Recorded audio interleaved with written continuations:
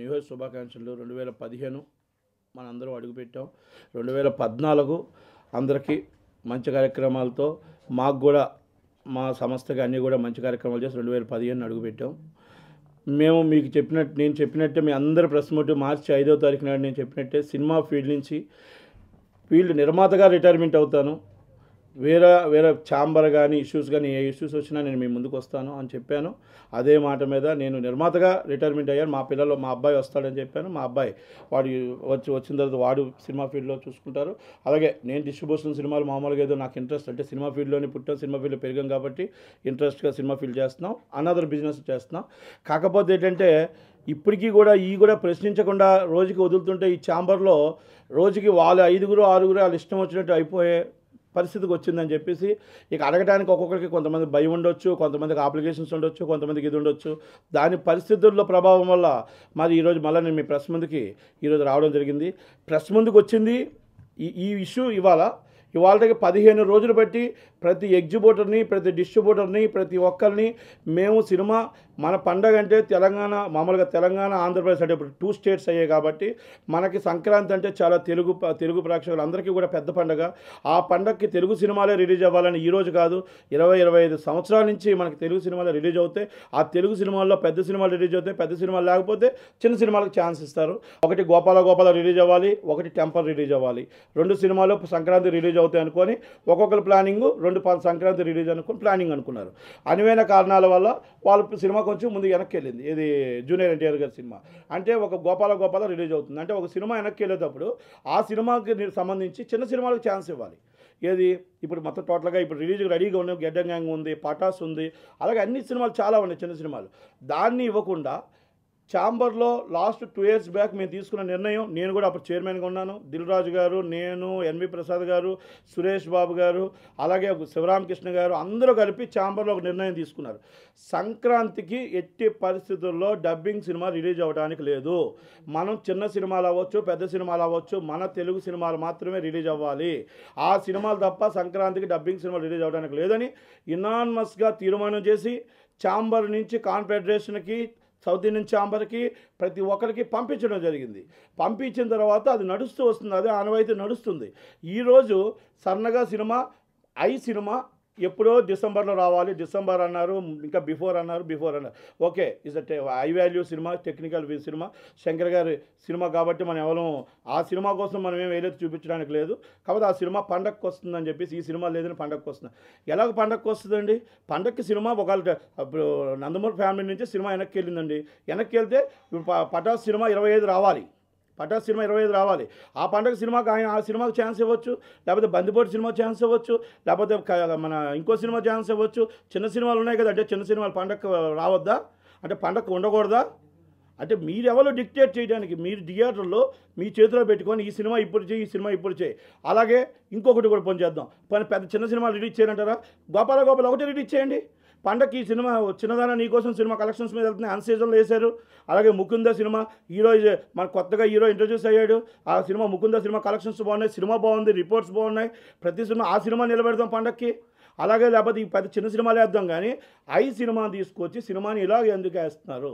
ఈ ఛాంబర్ మీదే ప్రెసిడెంటు. మీరే సెక్రటరీ మీరే వైస్ ప్రెసిడెంట్ అన్నీ మీరే అని మీ ఇష్టం వచ్చినట్టు మాట్లాడడం మీ ఇష్టం వచ్చినట్టు డిసిషన్ తీసుకోవడం. జనరల్ బాడీ మీటింగ్లో మూడు వేల మంది ఉంటారు. జనరల్ బాడీ డిసిషన్ తీసుకోకుండా ఏ రైట్లో మీరు ఈ సినిమాని ఐ సినిమాని ఈ తెలుగు పండ ప్రేక్షకుల పండక్కి మన సినిమా పండక్కి ఎందుకు మీరు ఈ ఐ సినిమా తీసుకొచ్చారు అనేది ఒకటి. ఐ సినిమాకి శంకర్ గారికి మేము ఈరోజు ఆ శంకర్ గారిని రాజమౌళి గారిని ఏసీలో కాదు కదా ఎంటైర్ వరల్డ్లో ఇస్ డిఫరెంట్ డైరెక్టర్స్ ఆ వాళ్ళకి మనం వాళ్ళకి ఏదైనా పెద్ద లెజెండ్స్ వాళ్ళకు వాళ్ళ సినిమాల కోసం పండగలు లేకపోతే హాలిడేస్ వాళ్ళకి లేదు. వాళ్ళ సినిమా వచ్చిన రోజే పండగ వాళ్ళ సినిమా రిలీజ్ అయిన రోజే మనకు మొత్తం అందరికీ కూడా ప్రేక్షకులందరికీ పండగ. ఆ సినిమా ఐ వాల్యూ సినిమా. ఆ సినిమాని చూడటానికి ఎంతోమంది పెద్దలు శాస్త్రవేత్తలు ఎంతోమంది వెయిటింగ్ ఉంటారు. అలాంటిది ఇలాగ ఈ సంక్రాంతి సినిమాకి తీసుకొచ్చి చేయడం అనేది కరెక్ట్ కాదు. దయచేసి శంకర్ గారిని రిక్వెస్ట్ చేస్తున్నాం. అందరినీ రిక్వెస్ట్ చేస్తున్నాం. ఎగ్జిబ్యూటర్లకి అందరికీ కూడా దయచేసి సినిమాని గోపాల గోపాల రిలీజ్ అవుతుంది. ఈ చిన్న సినిమాలు రిలీజ్ అవడానికి ఛాన్స్ ఇవ్వండి. ఒకటి అనువైన కారణాల వల్ల ఒకటి దురదృష్టం శాత్తు జానకి జానకిరామ్ గారు యాక్సిడెంట్లో చనిపోయారు. లేకపోతే ముందే రిలీజ్ అయ్యేది. ఆ సినిమాకి పండగ ఛాన్స్ ఇస్తే నిజమేనా? వాళ్ళ ఛాంబర్ కానీ కౌన్సిల్ కానీ నివాళులు అర్పించిన వాళ్ళు అవుతాం మనం. వాళ్ళ ఫ్యామిలీలో సినిమా వెనక్కి వెళ్ళింది. మరి వాళ్ళ ఫ్యామిలీకి ఛాన్స్ ఇవ్వండి. లేదనుకుంటే బందిపోటు ఉంది. లేదనుకుంటే గెడ్డం గ్యాంగ్ ఉంది. లేదు చిన్న సినిమాలకు ఛాన్స్ ఇవ్వండి. అంతే తప్ప లాస్ట్ ఇయర్ ఈ లాస్ట్ ఇయర్ కాకుండా అంతకు ముందు ఇయర్ మనకు నిప్పు సినిమా వస్తుంది అనుకున్నాం. అనుకోకుండా వెనక్కి వెళ్ళడం వల్ల నందేశ్వరుడు సినిమా వచ్చింది. ఆ రోజు రెండున్నర కోట్ల రూపాయలు ఎక్స్ట్రా ఆ ప్రొడ్యూసర్కి వచ్చింది. మామూలు టైం అప్పుడైతే కొంచెం మన పండక్కి తక్కువ ఉంటాయి కాబట్టి పండక్కి చిన్న సినిమాలు ఓపెనింగ్ కావాలి. ఈ పెద్ద సినిమాలకు ఐకి కానీ రాజమౌళి గారి సినిమాలకు కానీ అవసరం లేదు కదా. కనుక దయచేసి పండగ సినిమాని ఆ పండగ డేట్ అనేది వాల్యుబుల్ సంవత్సరం కోసం వస్తుంది. ఆ వాల్యుబుల్ తెలుగు సినిమా రిలీజ్ అవ్వాలి. దాంట్లో సురేష్ బాబు గారు కానీ ఎన్వి ప్రసాద్ గారు కానీ పూర్వీ పిక్చర్స్ వీర్రాజు గారు కానీ వీళ్ళందరూ కూడా అలంకార ప్రసాద్ అవ్వచ్చు. ఇంకా వీళ్ళు ఎవరైనా అవ్వచ్చు. వీళ్ళందరూ ఈ సినిమాని ఎందుకు తీసుకురావాలనుకుంటున్నారు? చిన్న సినిమాని ఎందుకు చంపాలనుకుంటున్నారు? ప్రతి నిర్మాత ప్రశ్నించవలసిన విషయం మనం ఛాంబర్లో పెట్టుకున్న మన నిర్ణయాలే మన మనమే మాట్లాడుకున్నవి మనం తీసుకున్న తీర్మానాలే మీ ఐదుగురు ఎలా మార్చారు? మీరు జనలబాడీ ఉంది జనలబాడీ లేకుండా ఎలక్షన్స్ లేకుండా ఏమీ లేకుండా మీరు ఎక్కడికైనా వెళ్ళాలనుకుంటే మీరు ఐదుగురు వెళ్ళిపోతున్నారు ముందుకెళ్తున్నారు ముందుకెళ్ళి కూర్చుంటున్నారు ముందుగా మీ అవసరం అయితే ముందుకెళ్ళి కూర్చుంటారు మీ అవసరం అనుకుంటే ఎవరితోనే వెళ్తారు. మా అవతలకి ఎగ్గొట్టాలి ట్యాక్స్ ఎగ్గొట్టాలి అనుకుంటే మాత్రం సన్మానాలు రెడీ అంటారు. ఏది చేయాలన్నా రెడీ అంటారు. నిజంగా మీరు ట్యాక్స్ కట్టాల్సి వస్తే తెలంగాణ శ్రీ కేసీఆర్ గారికి మా విన్నపం. ఆయన ఇన్ఫ- ఇన్ఫార్మల్ పెడతానన్నారు. నన్ను తెలంగాణ ఇన్ఫార్మల్గా ట్యాక్స్ కోసం పెట్టమనండి. ఐదు వందల కోట్ల రూపాయలతో నేను దగ్గరుండి రికార్డుగా కట్టిస్తాను. ఎందుకంటే వీళ్ళు చేస్తున్నది ముందు ఎవరు పేదవాళ్ళు కాదు చిన్నవాళ్ళు కాదండి. ఒక ఐదుగురు ఆరుగురు మాత్రమే సినిమా వీళ్ళ నుంచి కట్టాలి డబ్బు. వీళ్ళు కట్టకుండా ఎగ్గొట్టుతూ వాళ్ళు ఆ గవర్నమెంట్ వస్తే సన్మానం ఈ గవర్నమెంట్ వస్తే సన్మానం అని చెప్పి వెనకాల తిరుక్కుంటూ తిరిగే వీళ్ళని మరి ప్రోత్సహించొద్దని తెలంగాణ వాళ్ళకి కానీ అలాగే తెలంగాణ సీఎం కేసీఆర్ గారికి కానీ మరి చంద్రబాబు నాయుడు గారికి. చంద్రబాబు నాయుడు గారికి విన్నపం ఏంటంటే కొంతమంది మినిస్టులు ఇక్కడే ఉండిపోయి మరి వీళ్ళతో పాటే ఉండిపోయి వీళ్ళతో వ్యాపారాలు ఆ లావాదేవీలు పెట్టుబడులు కూడా దీంట్లో రన్ అవుతున్నాయి. మరి ఎంత దాకా కరెక్ట్ అనేది మరి చంద్రబాబు నాయుడు గారికి అబ్జెక్ట్ ఎందుకంటే సర్వీస్ ట్యాక్స్ ఎగ్గొడతామని చెప్పి సర్వీస్ ట్యాక్స్ రెండు వేల ఆరు నుంచి పది తొమ్మిది దాకా కట్టాల్సిన అవసరం లేదని చెప్పి మనిషికి డిఆర్ నుంచి డెబ్బై ఐదు వేల రూపాయలు కలెక్ట్ చేశారు. దాని మీద నేను సిబిఐకి ఇచ్చా. సిబిసిఐడికి ఇచ్చా. మొత్తం టోటల్గా గవర్నమెంట్కి ఇచ్చా. చంద్రబాబు నాయుడు గారికి ఇచ్చా. చంద్రబాబు నాయుడు గారు రెస్పాన్స్ అయ్యారు. కేసీఆర్ గారు రెస్పాన్స్ అయ్యారు. రమణాచారి గారు రెస్పాన్స్ అయ్యారు. డీజీపీ అనురాగ్ శర్మ రెస్పాన్స్ అయ్యారు. రాముడి గారు రెస్పాన్స్ అయ్యారు. అలాగే ఇక్కడ సిబిసిఐడికి రెస్పాన్స్ అయ్యింది. ఇక్కడ జగన్ గారు ఇన్వెస్టిగేషన్లో నాకు ఫోన్ చేశారు. వాళ్ళకి మనం అన్ని కావాలంటే అన్ని ఇస్తున్నాం. ఎక్కడెక్కడి నుంచి డబ్బులు దండారని ఇచ్చాం. అలాగే ఉత్తరాంధ్రలో అవ్వచ్చు ఆంధ్రప్రదేశ్లో అవ్వచ్చు. ఈరోజు ఒక మినిస్టరు ఫస్ట్ నుంచి నేను చెప్పుకొస్తున్నా ఒక మినిస్టర్ దగ్గరుండి ఇది నడిపించాడు నడిపించాడు విట్నెస్లు ఉన్నాయి ఒకవేళ నేను నిరూపించకపోతే నన్ను అరెస్ట్ చేయని అడుగుతున్నా. ఈరోజు నేను పచ్చిగా చెప్తున్నా కన్ఫామ్ చెప్తున్నా డబ్బులు కలెక్ట్ చేసిన రాజమాణిక్యం ఆ డబ్బులు అన్ని డబ్బులు తీసుకెళ్ళి ఉత్తరాంధ్ర ఒక మినిస్టర్ తీసుకెళ్ళి వాళ్ళ ఇంట్లో డబ్బులు ఇచ్చాడు. సీసీటీవీ ఫుటేజ్ చూసుకోమనండి. ఆ డబ్బులు కలెక్ట్ చేసిన పది మంది కొన్ని వందల మంది డబ్బులు తీసుకెళ్ళి ఆ ఉత్తరాంధ్ర మినిస్టర్కి ఇచ్చాడు. ఆ మినిస్టర్ ఎవరు? మరి ఈ అశోక్ కుమార్ ఆ మినిస్టర్ అక్కడ కూర్చుంటే మొత్తం టోటల్ ఛాంబర్లు కానీ అన్నీ కూడా సంతకాలు ఒకటే ఆ మినిస్టర్ పెడతాడు. ఈ అశోక్ కుమారే ఛాంబర్గా నడిపిస్తాడు. అక్కడ ఇచ్చిన డబ్బుని ఇక్కడ అశోక్ కుమార్కి ఇచ్చారు. ఇది వాస్తవా కాదా? ఈ సిబిఐ ఇన్వెస్టిగేషన్ ఉంది. సిబిఐ ఇన్వెస్టిగేషన్ నడుస్తుంది కాబట్టి చోట్లగా చాలా పెద్ద ఇన్వెస్టిగేషన్ సిబిఐ నడుస్తుంది. నరేంద్ర దేవ్ గారు వాళ్ళ దాంట్లో కాబట్టి దాని మీద నేను కొంచెం ఎక్కువగా ఎక్కువగా కూడా దీనికోసం డిస్కస్ చేయడానికి ఎందుకంటే ఇన్వెస్టిగేషన్లో ఉండేటప్పుడు మనం దాని మీద మాట్లాడటానికి కరెక్ట్ కాదు. రెండు వేల ఆరు నుంచి రెండు వేల తొమ్మిది దాకా డబ్బులు మీరు సర్వీస్ ట్యాక్స్ కట్టాల్సిన అవసరం లేదు అని డిఆర్ నుంచి ఏ క్లాసు డెబ్బై ఐదు వేలు సి క్లాసు బి క్లాసు డబ్బులు కలెక్ట్ చేసిన ఆంధ్రప్రదేశ్ కలెక్ట్ చేసిన ఇంచుమించు పది కోట్ల రూపాయలు. ఉత్తరాంధ్రలో కలెక్ట్ చేసిన డబ్బుని ఆ ఉత్తరాంధ్రలో రాజమాణిక్యం అనే వ్యక్తి వీర్రాజు పూర్వీ పిచ్చెస్ వీర్రాజు ద్వారా ఆయన ఇచ్చిన డబ్బును తీసుకెళ్ళి రాజమాణిక్యం తీసుకెళ్ళి ఇచ్చాడు. మినిస్టర్లో. ఆ పిఎస్కి ఇచ్చాడు. ఇది వాస్తవం కాదా? లేకపోతే ప్రెస్ మీట్ పెట్టమని రమ్మనండి. లైవ్లో నేను కూర్చుంటా. ఎలాగిచ్చాడు? ఎక్కడిచ్చాడు? ఏమి ఇచ్చాడు ఏ టైంకి ఇచ్చాడు? నేను చెప్పగలుగుతా. ఎందుకంటే ఫస్ట్ నుంచి చెప్తున్నా ఒక మినిస్టర్ అండ ఉంది. ఇది మినిస్టర్ అండ నుంచి మేము పోలీస్ స్టేషన్ కంప్లైంట్ ఇస్తే సర్వీస్ ట్యాక్స్ కమిషనర్ కంప్లైంట్ ఇస్తే పోలీసు ఏపీ పోలీసులు దీన్ని పట్టించుకోకుండా ఆ మినిస్టర్కి భయపడి విశాఖపట్నంలో మర్డర్ జరిగినా కూడా కేసు రిజిస్టర్ చేయాలా లేదని ఆ మినిస్టర్ని అడుగుతున్నారు. ఆ పరిస్థితి ఏపీ పోలీసు జరిగింది. పరిస్థితి. అందుకే సిబిఐకి ఇచ్చాం. సిబిఐ కూడా చాలా పర్ఫెక్ట్గా ఇన్వెస్టిగేషన్ చేస్తుంది. మనం మూడు నాలుగు రోజుల క్రితం మళ్ళీ నాకు స్టేట్మెంట్ అడిగితే మళ్ళీ అన్నీ ఇచ్చాం. అందుకే ఇన్వెస్టిగేషన్ సిబిఐ జరుగుతుంది కాబట్టి సెంట్రల్లో మొత్తం సర్వీస్ సర్వీస్ ట్యాక్స్ కమిషనర్లు కూడా వాళ్ళు కూడా సీరియస్గా వాళ్ళు కూడా యాక్షన్ తీసుకుంటున్నారు. ఇవన్నీ కూడా మొత్తం లావాదేవీలన్నీ ఇన్వెస్టిగేషన్ వేగవంతం జరుగుతుంది. సురేష్ బాబు ఇంకొకలో ఇంకొకలో ఎవరో తప్పించుకోవడానికి లేదు. గవర్నమెంట్కి కట్టాల్సిన డబ్బు గవర్నమెంట్కి కట్టమనండి. మేము గవర్నమెంట్ కట్టమంటున్నాం పేదవాళ్ళని పీడించడం కాదు. వీళ్ళు ఇక్కడ ఉన్న వాళ్ళని పీడించండి. డబ్బు ఐదుగురు తీసుకొని వారానికి ఈరోజు వీళ్ళు తీసుకుంటున్న లాభాలు కోటి రూపాయలు. వారానికి కోటి రూపాయలు నెలకు నాలుగు కోట్ల రూపాయలు. ఎవరు తినసొమ్మండి ఈరోజు ఓన్లీ మన దళారులు తీసుకుంటున్న డబ్బు ఇది. ఒక మార్జిన్ మనీ తీసుకుంటున్న డబ్బు ఇది. ఈరోజు సినిమా తీసిన ఎగ్జిబ్యూటర్ లేదు. సినిమా తీసిన ప్రొడ్యూసర్ లేదు. సినిమా చేసిన డిస్ట్రిబ్యూటర్ లేదు. వాడి వాడి కానీ నష్టపోతే వాడు పెళ్ళం పిల్లలు తాళ్ళు తాళ్ళతో సైతం అమ్ముకోవాలి.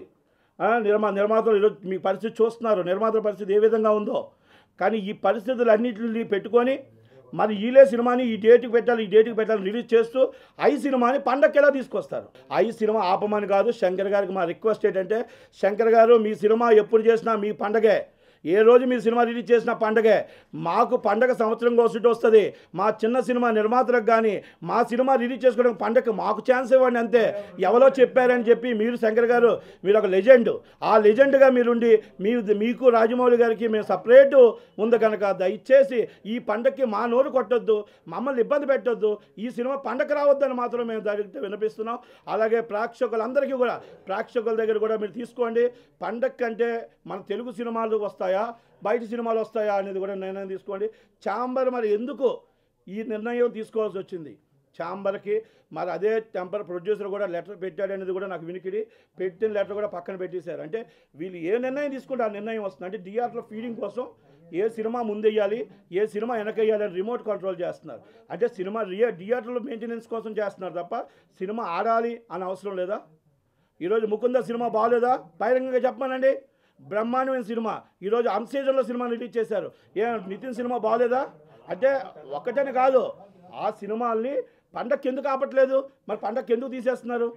అంటే అలాంటివి రన్ చేయండి. ఇప్పుడు ఇంకో సినిమా లేదంటే ఇంకో సినిమా రన్ చేయండి. చిన్న సినిమాలు నిలబెట్టండి. అంతే తప్ప ఈ చిన్న సినిమాలు ఇప్పుడు ఒక సినిమా గోపాల గోపాల అవుతుంది. ఇంకా థియేటర్లు ఉంటాయి. ఆ గోపాల గోపాల తర్వాత ఇంకో సినిమాకి ఇంకో చిన్న సినిమాకి ఛాన్స్ ఇవ్వండి. టెంపర్ తరపున చాంబర్ తరపున చిన్న సినిమా నిర్మాతల తరపున నేను ఆల్రెడీ ఈరోజు ఛాంబర్ ఆఫ్ కామర్స్లో నేను ఆల్రెడీ ఎక్స్ చైర్మన్గా ఈరోజు ప్రతి ఒక్కరి దానికి కూడా ఏ ఒకటి అంటే ఒక టెంపర్ సినిమా వాళ్ళు రిలీజ్ చేసుకుంటారా లేదా వాళ్ళ సొంతం. అలాగే ఇంకో చిన్న సినిమా దాంట్లో ఇప్పుడు ఈ సినిమా ఆ సినిమా అంటే పేరు నేను అంటే నా నోటికి వచ్చాయి కాబట్టి ఒక నాలుగైదు పేరు చిన్న సినిమా నిర్మాతలు ఏ సినిమా అయినా సరే ఏ సినిమా అయినా పండగకు రావాలి. అంటే పండగ అంటే మన సాంప్రదాయం. చాంబర్లో one of the member చాంబర్లో one of the leading member నేను. అలాగే జనలబాడీ మీటింగ్లో తీసుకున్న తీర్మానాన్ని మీరు వీళ్ళు ఈసీలో వీళ్ళెలా తీసుకొని మార్చేసుకుంటారు. అంటే తీర్మానం ఈరోజు కాదు కదా. ఆ రోజు నేను చైర్మన్గా ఉండేటప్పుడు ఆ రోజు అందరూ ఉన్నాం. అందరూ ఉండేటప్పుడు దిల్ రాజు గారు సురేష్ బాబు గారు ఈ ఎన్వి ప్రసాద్ గారు ఈ రామ్ సుబ్బారెడ్డి గారు మా అందరం కలిపి డబ్బింగ్ సినిమాలు రావద్దని పెట్టుకున్నాం. One of the distributor Lingaa ఎక్కడ? ఓన్లీ ఒక ఒక ఏరియా డిస్ట్రిబ్యూటర్గా కాదండి. డిస్ట్రిబ్యూటర్ ఇంకోటి. నేను డిస్ట్రిబ్యూటర్ని కాను. మళ్ళీ అది ఎల్కే మీడియా డిస్ట్రిబ్యూటర్ నేను కాదు. నేను ఓన్లీ జస్ట్ ఏంటంటే ఆ సినిమాకి కూడా నేను డిస్ట్రిబ్యూటర్ని కాను. ఇప్పుడు ఈ సినిమాలకు కూడా నేను డిస్ట్రిబ్యూటర్ని కాను. నాకేమీ సంబంధం కానీ ఏంటంటే పండక్కి సినిమాలు చాంబర్కి మనం మేమందరం చాంబర్లో ఉన్నాం. జనలబాడి ఉంది. జనలబాడి మీటింగ్ పెట్టి మమ్మల్ని అందరినీ చెప్పి ఏమంటే ఇలాగ అనువైన కారణాల వల్ల సినిమాలు వెనక్కి వెళ్ళే ఈ విధంగా చేస్తామంటే ఎవరు సలహాలు ఇచ్చేవారేమో? ఛాంబర్లో సీనియర్ మెంబర్గా మాకు కూడా మూడు ఓట్లు తేడాతో ఓడిపోయాం. అంటే మూడు వందల ఓట్లు మాకు వేసిన మూడు వందలు వేసిన నిర్మాత దాంట్లోని ఇంకొక నిర్మాత ఉండొచ్చు లేకపోతే పటాస్ నిర్మాత ఉండొచ్చు లేకపోతే బందిపోటు నిర్మాత ఉండొచ్చు లేకపోతే ఇంకో సినిమా నిర్మాత ఇంకో సినిమా. అంటే నాకు నోటుకు వచ్చిన పేర్లే చెప్పాను. మూడు వందల పేర్లు చెప్పలేము కదా. కనుక హండ్రెడ్ పర్సెంట్ ఇప్పుడు నాకేం సంబంధం అని అనుకుంటే వెళ్ళిపోతే రోడ్డు మీద ఏమీ జరగవు. కనుక ఈరోజు ఏదో ఒకటి ఇప్పుడు సర్వీస్ ట్యాక్స్ కోసం నేను ఫైట్ చేశాను కాబట్టే సర్వీస్ ట్యాక్స్ రెండు కోట్ల అరవై లక్షలు కట్టాడు. రెండు ఈరోజు సురేష్ బాబు కట్టాడు. డబ్బులు. సరే రెండు కోట్ల అరవై కాదు రెండు వందల కోట్లు కట్టాల్సిన రెండు కోట్ల అరవై లక్షలు కట్టాడు నామకావస్థ అంటే ఏదైనా డబ్బు గవర్నమెంట్కి వెళ్తుందంటే పేద ప్రజల డబ్బులే కదా. వీళ్ళ ఇంట్లో దాచుకోకుండా డబ్బు వెళ్తుందంటే వెళ్తుంది కదా. అలాగే నేను ప్రశ్నించింది తప్పు అయితే ఇది ప్రశ్నించింది నా తప్పు ఇది కరెక్ట్ కాదు అనేది నన్ను అడగండి.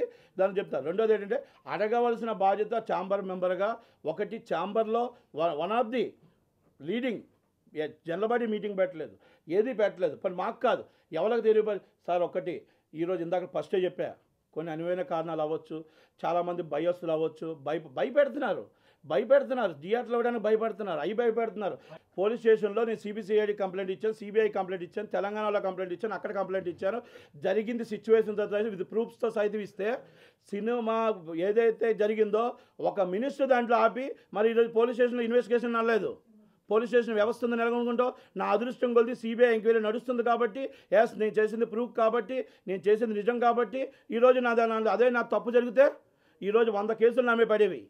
నేను చెప్పింది ఈరోజు నేను మీ అందరు ఛానల్ ముందు రికార్డింగ్ చేసి చెప్తున్నాను కానీ అబద్ధంగా చెప్పట్లే. ఆ రోజు కూడా చెప్పా తప్పు స్టేట్మెంట్ నాదైతే అరెస్ట్ చేయండి. ఇది కరెక్ట్ స్టేట్మెంట్ అయితే ఎంక్వైరీ చేయమన్నా. చంద్రబాబు నాయుడు గారు చేయలేదు. చంద్రబాబు గారు నాకు లెటర్ పంపించారు అన్నీ చేశారు. ఇన్వెస్టిగేషన్ అన్నారు. చేశారా లేదా? విశాఖపట్నంలో జరగదని మాకు తెలుసు. అందుకనే సిబిఐ ఇన్వెస్టిగేషన్ జరుగుతుంది. హండ్రెడ్ పర్సెంట్ న్యాయం జరుగుతుంది. జరుగుతుందని కూడా మాకు తెలుసు. రెండోది జరగాల్సిన అవసరం లేదండి. ప్రతిదీ జరుగుతుంది కనబడుతుంది. మాకు ఇప్పుడు సర్వీస్ ట్యాక్స్ అన్నీ జరుగుతున్నాయి. వాళ్ళకి వాళ్ళకి ఐదు ఆరు సినిమాలు మూడు సినిమాలు వాళ్ళకు ఉంటాయి పొంగల్కి మనకి రెండు సినిమాలు పెద్ద సినిమాలు చిన్న సినిమాలు రెండు మనకు ఉంటాయి ఇది ఇప్పుడు కాదు. మనం పుట్టక ముందు నుంచి పెద్దలు నిర్ణయించుకునే నిర్ణయాలే. ఈరోజే మనం కొత్తగా మన మీద తీసుకో ఇప్పుడిప్పుడు కొత్తగా అంటే అడ్రస్ తెలియని వాళ్ళు వచ్చి చాంబర్కి వచ్చి మారుస్తున్నారు తప్ప వాళ్ళ వారసులు మారుస్తున్నారు తప్ప రామానాయుడు గారో దాసనారాయణరావు గారో ఇంకొకరు మార్చరు. ఎందుకంటే వాళ్ళకి వాల్యూస్ తెలుసు విలువలు తెలుసు. వీళ్ళేంటంటే డబ్బే ప్రధానంగా ఉన్న సురేష్ బాబు ఈ అన్వయ్ ప్రసాద్ గారిని అడిగా. అలాగే పూర్వీ పిక్చర్స్ వీరరాజు గారిని అడిగా. నువ్వే డిస్ట్రిబ్యూటర్ అవుతున్నావు నువ్వు వైస్ ప్రెసిడెంట్ ఉన్నావు ఏ రైట్లో సినిమా రిలీజ్ చేస్తున్నావు? మరి ఆ రోజు మరి చెప్పేటప్పుడు ఏంటంటే ఇవన్నీ మీకు చెప్పేటప్పుడు ఉంటాయండి. ఇవన్నీ ఎవరు ఉంటాయండి చిన్న సినిమాలు ఎవరేస్తారండి పండగ సినిమా ఎగ్జిబిటర్ పెద్ద సినిమా కావాలనుకుంటాడండి అని అడిగారు. అంటే సినిమా ఉంటేనే కదా అడుగుతారు. ఇప్పుడు సినిమా లేకపోతే ఎందుకు అడుగుతారండి? టెంపర్ సినిమా నందమూరి ఫ్యామిలీ నుంచి ఒక్కరు అనువైన కానీ వెనక్కి వెళ్ళింది. ఆ ఫ్యామిలీలో అనుకోకుండా యాక్షన్ జరిగింది. ఇరవై ఐదు రావాల్సిన సినిమా అది. మరి ఆ సినిమాకి మనం ఛాన్స్ ఇచ్చుంటే నిజమైన నివాళులు అర్పించేవాళ్ళం ఒకటి జూనియర్ గారి సినిమా వస్తుంది ఒకటి పవన్ కళ్యాణ్ గారు గోపాల గోపాల్ వస్తుందని డిసైడ్ చేసాం రెండు సినిమాలే తప్ప మూడో సినిమా వస్తుందని ఎవరు డిసైడ్ చేయలే. ఒకటి ఇరవై ఐదు ఇరవై ఐదుకో లేకపోతే జూలైకో జూన్కో ఇది వస్తుంది అనుకున్నారు డిసెంబర్ పన్నెండు వచ్చి లింగా వస్తుంది అనుకున్నారు ఈ నిర్ణయాలు. అందుకనేసి ఎవరికి ప్రయత్నాలు జరిగింది ఎందుకంటే పండగ రెండు సినిమాలు వస్తే వాళ్ళకే సరిపోతాయి థియేటర్లు అని ప్రయత్నం చేయరు. వాళ్ళ సినిమా అనుకోకుండా లేనప్పుడు మరి ఈ సినిమాలకు ఛాన్స్ ఇవ్వడం తప్పేంటి? ఎల్కే మీడియా ప్రైవేట్ లిమిటెడ్ అనే కంపెనీ వేరు నట్టి కుమార్ వేరు. ఎల్కే మీడియా అనేది మా పిల్లలది మా మా వాళ్ళది అది నాది కాదు. ఎన్కే ఎన్కే థియేటర్స్ అనేది ఆల్రెడీ నేను మార్చి ఐదో తారీఖు నాడే సినిమాలు తీయనన్నాను అయిపోయింది. ఓన్లీ నాకు వేరే బిజినెస్లు చేసుకుంటున్నాను వేరే కన్స్ట్రక్షన్. కానీ ఒకటే ఛాంబర్లో పుట్టాం ఇక్కడే పెరిగాం ఇక్కడే ఉన్నాం. కనుక హండ్రెడ్ పర్సెంట్ ప్రశ్నించే హక్కు మనకు ఉంది అడిగే హక్కు కూడా ఉంది. ఈ రోజు ఓడిపోయాను మూడు ఓట్లతో కాదు కదా రేపు ఛాంబర్ ఎలక్షన్ పెడితే మేము గెలుస్తాం వాళ్ళు డిపాజిట్లు పోతాయి.